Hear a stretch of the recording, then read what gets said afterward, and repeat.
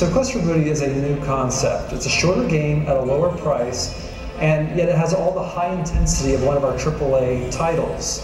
Uh, we paced it much like a big summer blockbuster film. It's got action, suspense, mystery, and the humor you'd expect to find in a Ratchet and Clank game.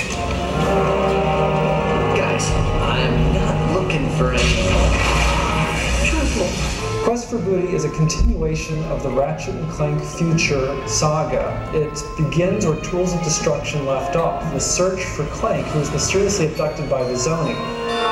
We focus more on platforming, exploration, and we're also requiring players to think a little bit more.